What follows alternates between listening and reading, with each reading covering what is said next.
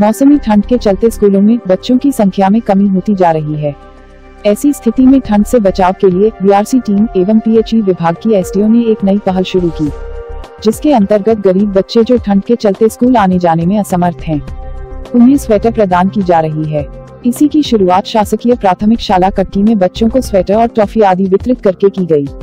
B R C Umakant Choubey BSc Arun Dubey PHE विभाग की S D O प्रांजल राय, शिक्षक महेश लोधी ने स्कूल पहुंचकर उपस्थित कक्षा एक से पाँच तक के 22 बच्चों को गर्म ऊनी स्वेटर, टॉफी, बिस्किट, पेंसिल इत्यादि सामान वितरित किया। बच्चे स्वेटर पहनकर बहुत खुश हुए, एवं ग्राम वासियों ने अधिकारियों द्वारा की गई इस पहल को सराहनीय बताया। स्कूल में पदस्थ शिक्षिका सीमा जीरा द्वारा भी बच्चों को मोजे वितरित किए गए। देवरी से प्रवीण पाठक की रिपोर्ट।